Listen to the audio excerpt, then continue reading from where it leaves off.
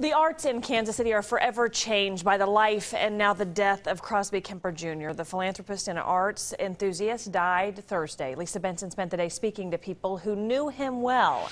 And after his passing yesterday, everybody's really torn up about this.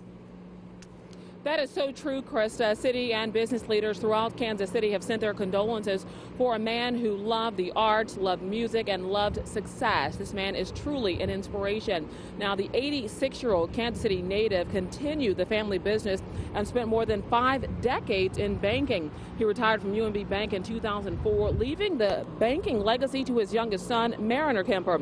His banking roots allowed him to give generously to his passion for the arts. Kemper founded the Kansas City Symphony the Kemper Museum of Contemporary Art, and the Metropolitan Performing Arts Fund.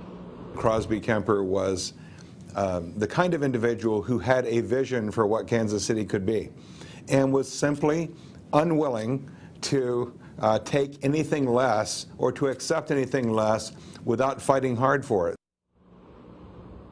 Now, Kemper had seven children and 22 grandchildren. For more on his life and legacy, go to our website, kshb.com. Reporting live, Lisa Benson, 41 Action News.